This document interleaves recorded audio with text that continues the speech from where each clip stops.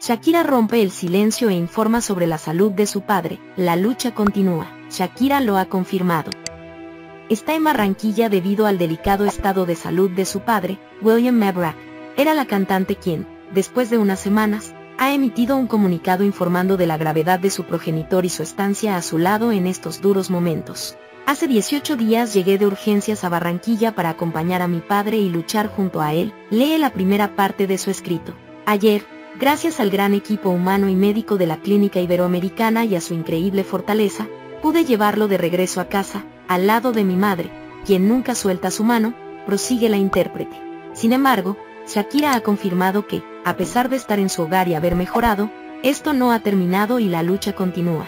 Mientras tanto, esa sonrisa suya que brilla hasta en los momentos más difíciles, es mi mejor ejemplo, escribió con un profundo amor a su padre.